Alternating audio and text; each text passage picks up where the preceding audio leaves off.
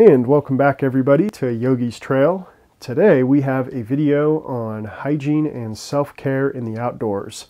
This video is going to elaborate on the last couple ones uh, I've done here. Uh, just talking about what kind of uh, little tiny things you got to bring with you when you're backpacking. What kind of little doodads, knickknacks, uh, gizmos do you kind of hikers like to take and uh, use in the outdoors. Uh, a big part of that, of course, is hygiene. Hygiene is going to, it's just going to give you a nice little mental, you know, uplift when you need it. Uh, there's nothing like getting clean in the outdoors and, and, slipping into your sleeping bag and, and knowing you're going to get a nice, good night's sleep just because uh, you're, you're, you're nice and clean. You don't have sunscreen grime going into your eyes while you're trying to sleep at nighttime. Uh, so to get clean, we all know how to bathe ourselves. Um, it's just a matter of like how you want to bathe yourself in the outdoors. I like to take the opportunities as they come and also kind of bathe down pretty much every night with um, like my handkerchief here. And uh, I will simply just take a bottle of water um, and potable water too. I'll purify it or filter it. And I'll take that with me to my camp or wherever I'm kind of eating and doing camp chores and I can do it all in my camp chair. I just uh, take this and put some soap on it and you know, wash up and then take it, wring, wring it out and put some water on it and kind of uh, get the uh, soap residue off and then wring that out and then I'm good to go. Uh, but you can uh, just try to take, you know, whatever advantage you can. Um, if there's a nice lake or river or stream to kind of go dip in, you know, uh, take the 15 minutes to, to, you know, unpack and get in for a few and, and just clean up. Because um, a lot of you know what I think of uh, backpacking and being in the outdoors is uh, just taking the kind of opportunities as as they come by. So if you get an opportunity to clean yourself off and and uh, get nice and and and fresh, then man, do so. So the soaps you can use are all these uh, nice little biodegradable soaps. Sometimes like you can put it in like smaller packaging um, to try to kind of reduce weight or whatever. But the only soap that I've found that doesn't leak on me is the Sea to Summit Wilderness Wash. This uh, you know bottle is just the one bottle that never has leaked on me, so I take that with me all the time, and that's my soap of choice in the uh, wilderness. But anything really works. Do kind of keep mind. Uh, I'm sorry, not anything works. Get something biodegradable. Uh, anything on this little table here will work but get something um, that's definitely biodegradable and then also try if you can to kind of bathe away from the actual source you know or put a bunch of soap on you know away from the actual source uh, that's when it's good to kind of take your water with you you know and go bathe at your campsite and uh, get things done away from the source of the water but moving on from that I got a couple little things here uh, these both have to do with chafing uh, Body Glide will help prevent chafing and Cortizone 10 will really help heal chafing up overnight. If I uh, ever got really chafed up, I put this on uh, at nighttime when I was kind of doing my little self-care routine, and just in the morning I'd wake up and the chafe would be almost gone. It, it was uh, it was very it's like a miracle. So I always bring that with me. I always bring some Body Glide. I actually take a little stick of Body Glide. I'll show you here in a minute. But this is kind of cool. It's tiny. It's it's not a lot. Keep that in mind. But uh, it's something that can work, and it's uh, it's little if you kind of want to try it out if you've never used Body Glide before. Um, of course, here we have a couple little things to kind of clean yourself off with. Um, like I said, I use this for all my kind of bathing and snot rag, and you know, it's just my little bathing rag basically. And uh, I take it on all my trips. Um, you can also use something like this, like a Lightload towel here. These work, and they're about half uh, half the weight of this. You know, this thing weighs like 1.2 ounces. And, uh, oops. Oh, yeah, we'll tear it. Yeah. Yeah, 1.2 ounces. You know, this little guy weighs, yeah, 0.6 ounces. So, quite the difference in weight there. But yeah, they both work pretty well for just kind of bathing off and uh, keeping care of yourself. Tweezers are nice if you are going on, or I'm sorry, nail clippers are nice if you're going on like a longer trip and you just uh, need to trim those nails. Uh, I'd uh, trim mine about you know once a week, and that kept them pretty good. Um, but mostly with hygiene, like we all know, you know what we're doing when it comes to hygiene. It's just kind of like what little kind of cool things can uh, we take, what little kind of hacks uh, can we do to make things lighter, to make things more efficient. Um, and I think you know one, like I said, is taking the opportunity when it comes along uh, to bathe up and um, bathing is going to also, you know, decrease chafing. It's going to get all the grime off your body, all the salt and uh, stuff like that. It's just going to make your world a lot better when you're out there. It's going to make you feel a thousand times better. And uh, yeah, we all need to do it, uh, so you might as well. And the next little section of this video is going to be basically some stuff that you can take um, hygiene related. I don't really take this stuff I have in the past, but I kind of stopped taking it, and I will. I'll tell you why I stopped taking it here. Um, but wet ones, uh, I know a ton of people take those. I used to take them a lot, but I just kind of use baby wipes now. Uh, if I need to sanitize something, I have my Sani, uh, sanitizer um, gel with me. So the wet ones aren't really good for, for my opinion, uh, for your backside. Um, they're a little too like antibacterial, like kill germ, Lysol wipe kind of stuff. Um, I don't like putting it on those sensitive areas. I like using like a baby wipe with a nice kind of aloe vera um, finish to it or chemical ingredient, whatever it is. These things are kind of cool. They're just little, um, you put some water on them, they turn into a towel, and they're kind of neat. Sometimes I put them in my pack. I've never really used them in the outdoors, but um, yeah, they're fun. They're kind of cool. I just wanted to show you those. Insect uh, spray. So I just use this uh, Picaridin uh, from Sawyer if I use any at all. And honestly, I don't really use insect repellent when I'm out in the outdoors unless I'm like uh, in, you know, Canada, Alaska, or somewhere where it's super thick with the bugs. Uh, I really don't use it that much. I just kind of deal with them and then I get into my tent or shelter at night and I zip up my, my bug net and I'm like, all right, this is my sanctuary and this is my, you know, time away from the bugs. Um, they do get annoying, don't get me wrong. Uh, I also take like a little head net with me.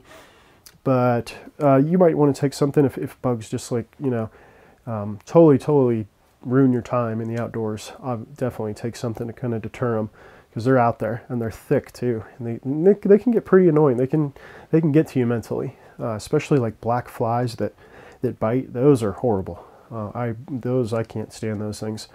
But um, that's uh, something you can also take too, of course. Um, keep those insects away, keep them biting little buggers away. And uh, lotion too. If you want to bring like a little lotion to kind of, you know, your skin has all sorts of weird stuff that happens to it when you're in the outdoors that doesn't happen when you're at home, like showering and moisturizing and, you know, eating your usual diet and stuff like that. Um, so you get, I don't know, I get little like eczema patches sometimes here and there, uh, just because how dry it can get up in the Colorado mountains as well too. But sometimes it's nice to have a little lotion just to kind of pamper yourself uh, at nighttime and all this kind of stuff here um, including these next two items here, I'm going to kind of show you, can all be used, uh, you know, at the end of the night or, you know, the beginning of the day. Just kind of like give yourself five, you know, 10 minutes in your tent at night to kind of clean your feet up. Um, just, you know, doctor your hands up, put neosporin on tiny little cuts because things get infected a lot easier in the outdoors when you're just dirty all the time, when you're mucking through mud and dirt and, you know, all sorts of stuff and sweating sunscreen and DEET into your, you know, cuts and whatnot. uh, so it's, um, it's uh, definitely nice to take the time to, to work on yourself a little bit each night. Um, and that can be in two ways, you know, one, it can be in like a hygienic way. And then two, it can be in like a more um, physiological way. So, you know, KT taping your knee, uh, doing some stretching.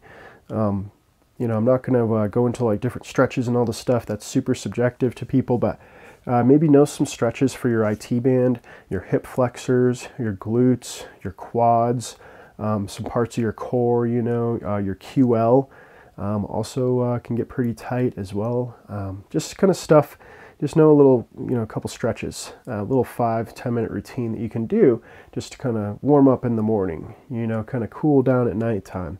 Uh, make sure that your body is going to be warm when you're stretching it. So, you know, kind of maybe hike for 10 minutes in the morning. That's kind of what I always do is I start really slow. I'll do a little bit of hiking and then I'll stop and do some stretching. And then I'll hike more. And then once I'm really warmed up, I'll, I'll still stop and stretch, you know, every like hour I like to take or hour and a half take a little chill and uh, and do maybe like a couple stretches. You know, just the just while you're nice and warm and your body's uh, ready to stretch.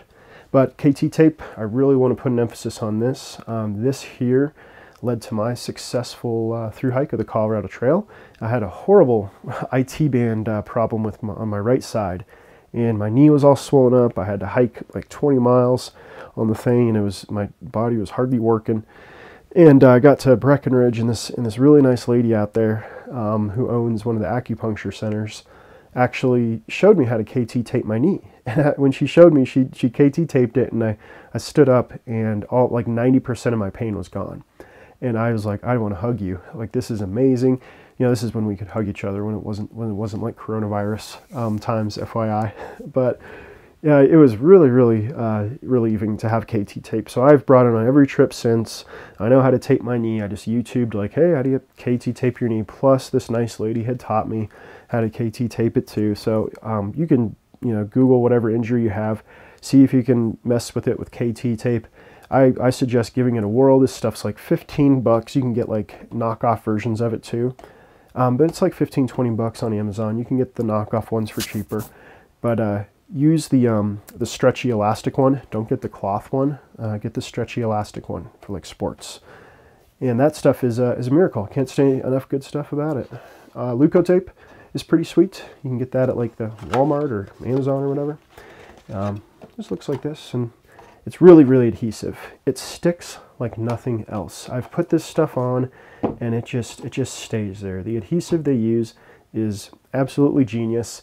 It's great for blister uh, treatment, um, if you're having just, you know, chafing issues maybe, or just, you know, friction issues anywhere, you can try to build up a little layer of uh, Leukotape on that. And uh, KT tape works for it as well, but KT tape does not stick like Leukotape. Uh, Leukotape is just extremely, extremely adhesive. It will rip skin off when if you like cover up a blister that you popped or something with it. I mean, just say goodbye to that skin. Make sure you rip that skin off within like you know, the first day, change that leukotape out, uh, clean the wound because it's coming off, man. Uh, and next we have my, oops, I almost forgot my favorite item for self-care, my massage ball. Yes, this Rawlogy massage ball. Thank you for whoever started making these things because they are a must for me in the outdoors. I take them with me when I'm traveling. I take them everywhere. Um, I love these things. They're uh, really, really cool to have because they're just light. They can, you know, get your muscles just like if you're having a muscle that will not calm down and you know kind of like your body and how to treat it, you can use this as an excellent tool to relieve those muscles. Now, do beware, like, you know, sometimes you want to know how your body is going to respond to such pressure. This is a really really hard um, piece of cork. And I have many massage items, and I'm very familiar with massage equipment and uh, all that stuff. So this little guy here packs a wallop. Um, you know, kind of like maybe experiment with it or learn how to do some stuff with it before you kind of, um, you know, use it in the backwoods. Uh, know that like, you know, how you kind of like will press on a muscle and, uh, and have it release for you because um, sometimes some people are super sensitive and they would not like any of the pressure on the muscle that's you know irritating them or just that certain area might be vulnerable you know for that for that individual. Like i would not take this and use it on like back pain. I wouldn't go like roll my back out with this but i would roll my IT bands out. I would roll my hip flexors um, and my quads with it which in turn for me relax my back. So this is a key item in uh, self-care in the outdoors take five minutes, you know, use it in the morning and night. Um, give your body a little bit of love out there because you're giving it a lot of hate. and to finish here up, we have my toiletry kit. And here we have my favorite item first, why not? The Hygienna uh, water uh, bidet. This just hooks up to your water bottle, uh, smart water style, um, just like on the top. And it's used as a bidet. So if you don't know what a bidet is, you can Google it. It'll probably put up some interesting uh, pictures.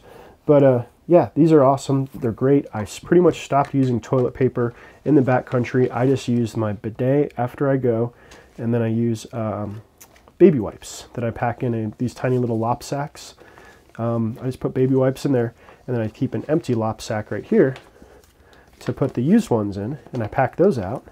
And then I don't use really any toilet paper. I keep some with me just in case, like I have a little bit right there.